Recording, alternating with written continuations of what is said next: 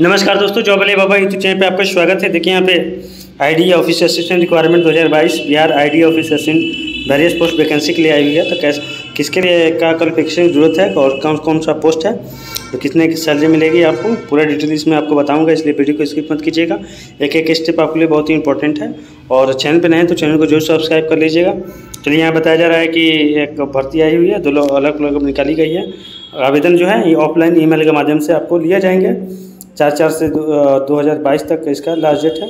Apply करने का आवेदन प्रक्रिया जो है फॉर्म डाउनलोड करके और आप क्या कर सकते हैं, और जो है, आप छाया प्रति स्कैन करके आवेदन पत्र, अंतिम तिथि ईमेल आईडी पर क्या करना होगा आपको मेल करना होगा। यहाँ देखिए आप मेल करना होगा आपको।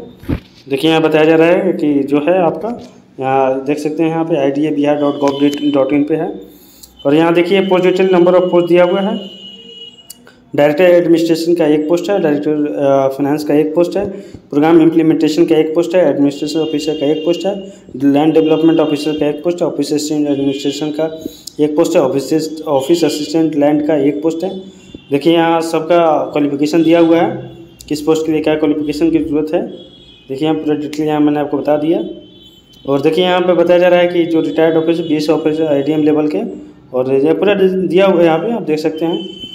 और फॉर्म भी आप यहाँ से क्या कर सकते हैं? डाउनलोड कर सकते हैं डाउनलोड नोटिफिकेशन कर सकते हैं। देखिए कैसे आपको फॉर्म डाउनलोड करना है, पूरा डिटेल यहाँ दिया हुआ है। देखिए एप्लीकेशन फॉर्म यहाँ से क्या कर सकते हैं, आप डाउनलोड कर सकते हैं, देख सकते हैं यहाँ पे। और एप्लीकेशन वर्ड फॉर्मेट में आप कर सकते हैं, देखिए यहाँ पे दिया हुआ है।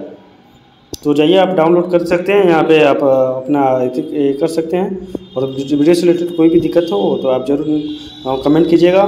और अब चैनल पर नए तो चैनल को ज़रूर सब्सक्राइब कर लीजिएगा और वीडियो को लाइक ज़रूर कर दीजिए अपने दोस्तों को ज़रूर शेयर कर दीजिएगा। और आप वीडियो फेसबुक पेज देख रहे हैं तो फेसबुक पेज को लाइक एंड फॉलो कर दीजिएगा और अपने दोस्तों को भी ज़रूर शेयर कर दीजिएगा। चलिए मिलते हैं वीडियो आगे में। जय हिंद, जय भारत।